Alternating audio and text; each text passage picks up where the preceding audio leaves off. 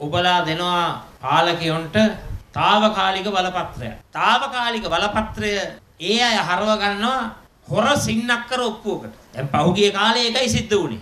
ජනතා සිහින සැබෑ කරනවා වෙනුවට පහුගිය කාලේ පාලකයෝ කරේ පාලකයන්ගේ සිහිනේ සැබෑ කරවගත්තා. පාලකයන්ගේ පවුලේ සිහින ටික සැබෑ කරවගත්තා. ජනතාවගේ හනට ඇහුම්කන් දීලා ශක්තිමත් රාජ්‍ය ප්‍රතිපත්තියක් තුලින් සංවර්ධිත ශ්‍රී ලංකාව ගොඩනැගීම උදෙසා ඔබ අපත් සමග එකතු වන්නේ මම ඔබලට පොරොන්දු වෙනවා දිවංගත ජනාධිපති රණසිංහ ප්‍රේමදාස මැතිතුමාගේ නාමයෙන් මේ රටේ පවුල් ලක්ෂ 61කගේ සිහින සැබෑ කරවන්නට ජීවිත පරිත්‍යාගයෙන් සජිත් ප්‍රේමදාස අප කැප වෙනවයි කියන එක මම මේ අවස්ථාවේ ප්‍රකාශ කරන්න කැමතියි